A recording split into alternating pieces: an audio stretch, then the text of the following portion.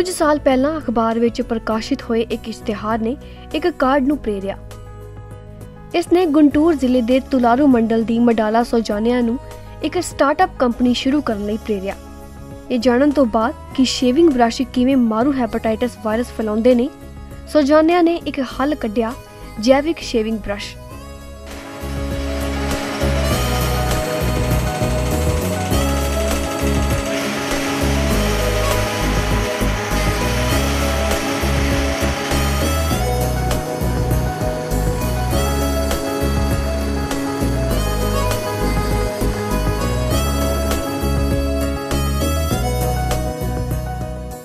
Shaving ਬਲੇਡਾਂ ਰਾਹੀਂ HIV ਫੈਲਣ ਦੇ ਸੰਭਾਵਿਤ ਜੋਖਮ ਨੇ ਲੋਕਾਂ ਨੂੰ ਵਿਕਲਪ ਦੀ ਭਾਲ ਕਰਨ ਲਈ ਮਜਬੂਰ ਕਰ ਦਿੱਤਾ।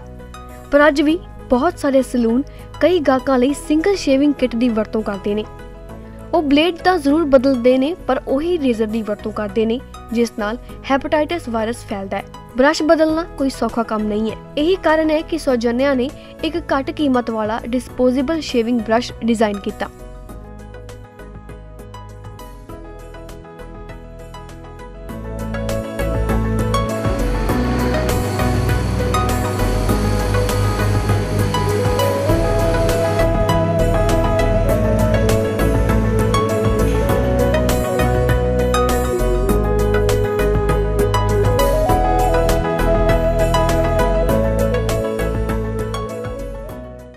పెద్ద ప్రాబ్లంకి చాలా చిన్న సొల్యూషన్గా ఉంటుంది అని చెప్పేసి నేను ਮੈਂ ਇਸ ਨੂੰ ਇੱਕ ਵੱਡੀ ਸਮੱਸਿਆ ਦੇ ਛੋਟੇ ਹੱਲ ਵਜੋਂ ਵੇਖਦੀ ਹਾਂ ਸ਼ੁਰੂ ਵਿੱਚ ਮੈਨੂੰ ਨਹੀਂ ਪਤਾ ਸੀ ਕਿ ਕਿੱਥੋਂ ਸ਼ੁਰੂ ਕਰਾਂ ਮੈਂ ਇਸ ਖੋਜ ਦੇ ਹਿੱਸੇ ਵਜੋਂ ਬਹੁਤ ਸਾਰੀਆਂ ਸਮੱਗਰੀਆਂ ਦੀ ਜਾਂਚ ਕੀਤੀ ਮੈਂ ਫਾਈਬਰ ਸਹੀ ਤੰਦਰੁਸਤ ਪਾਇਆ ਪ੍ਰੋਸੈਸਿੰਗ ਤੋਂ ਬਾਅਦ ਫਾਈਬਰ ਨੂੰ ਬ੍ਰਸ਼ ਬਣਾਇਆ ਜਾ ਸਕਦਾ ਹੈ ఈ షేవింగ్ బ్రష్కి అనుకూలంగా తయారు చేసి ਇੱਕ ਸਾਲ ਦੇ ਅਰਸੇ ਦੌਰਾਨ ਕਈ ਸਮੱਗਰੀਆਂ ਨਾਲ ਪ੍ਰਯੋਗ ਕਰਨ ਤੋਂ ਬਾਅਦ ਸੌਜਨਿਆ ਨੇ ਕੇਲੇ ਦੇ ਰੇਸ਼ੇ ਨਾਲ ਬੁਰਸ਼ ਬਣਾਉਣਾ ਸ਼ੁਰੂ ਕੀਤਾ। ਉਸਨੇ ਗੁੰਟੂਰ ਦੇ ਅਨੰਤਵਰਮ ਵਿਖੇ ਇੱਕ ਨਿਰਮਾਣ ਸੁਵਿਧਾ ਸਥਾਪਿਤ ਕੀਤੀ।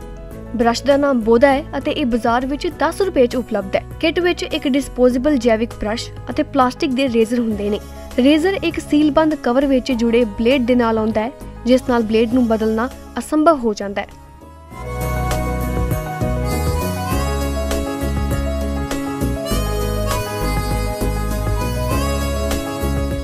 ఫార్మర్స్ కూడాను ఎక్స్ట్రా బెనిఫిట్ ਆਮ ਤੌਰ ਤੇ ਵਾਢੀ ਤੋਂ ਬਾਅਦ ਕੇਲੇ ਦੇ ਸਮੂਹਾਂ ਦਾ ਨਿਪਟਾਰਾ ਕਰਨ ਲਈ ਕਿਸਾਨਾਂ ਦਾ ਪੈਸਾ ਖਰਚ ਹੁੰਦਾ ਹੈ ਦਰਅਸਲ ਉਹਨਾਂ ਨੂੰ ਇਸ ਉਦੇਸ਼ ਲਈ ਆਪਣੇ ਮੁਨਾਫਿਆਂ ਵਿੱਚੋਂ ਕੁਝ ਰਕਮ ਨਿਰਧਾਰਿਤ ਕਰਨੀ ਪੈਂਦੀ ਹੈ ప్రాఫిట్లో దీనికోసం మళ్ళీ స్పెండ్ చేయడం అంటే వాళ్ళకి చాలా బర్డెన్ అవుతుంది సో ఆ విధంగా వాళ్ళకి అక్కడ సేవ్ అవుతుంది మనీ ਇਸ ਢੰਗ ਨਾਲ ਜੈਵਿਕ ਬ੍ਰਸ਼ ਕਿਸਾਨਾਂ ਲਈ ਲਾਭਕਾਰੀ ਹੈ ਅਤੇ ਇੱਥੋਂ ਤੱਕ ਕਿ ਪਿੰਡੂ ਔਰਤਾਂ ਲਈ ਰੋਜ਼ਗਾਰ ਦਾ ਸਰੋਤ ਵੀ ਬਣਾਉਂਦਾ ਹੈ రెండు మూడు గ్రామాలు దాటి పొలం వెళ్ళాల్సి వస్తుంది ఇది ਕੰਮ ਲਈ ਸਾਨੂੰ ਤਿੰਨ ਪਿੰਡ ਪਾਰ ਕਰਨੇ ਪਏ ਬੋਧਾ ਦੇ ਸਥਾਪਿਤ ਹੋਣ ਤੋਂ ਬਾਅਦ ਅਸੀਂ ਆਪਣੇ ਪਿੰਡ ਵਿੱਚ ਹੀ ਠਹਿਰੇ ਫਿਰ ਆਉਣਾ ਆਸਾਨ ਹੋ ਗਿਆ। ਬਹੁਤ ਸਾਰੇ ਲੋਕਾਂ ਨੇ ਸਾਡੇ ਨਾਲ ਕੰਮ ਕਰਨ ਵਿੱਚ ਦਿਲਚਸਪੀ ਦਿਖਾਈ। ਘਰ ਦੀਆਂ ਔਰਤਾਂ ਵੀ ਇੱਥੇ ਆ ਕੇ ਕੰਮ ਕਰ ਸਕਦੀਆਂ ਹਨ। ਕੰਮ ਚੰਗਾ ਹੈ। ਅਸੀਂ ਬ੍ਰਸ਼ ਅਤੇ ਰੇਜ਼ਰ ਬਣਾਉਂਦੇ ਹਾਂ। ਇਹ ਕੰਮ ਖੇਤ ਦੇ ਕੰਮ ਨਾਲੋਂ ਬਹੁਤ ਆਸਾਨ ਹੈ।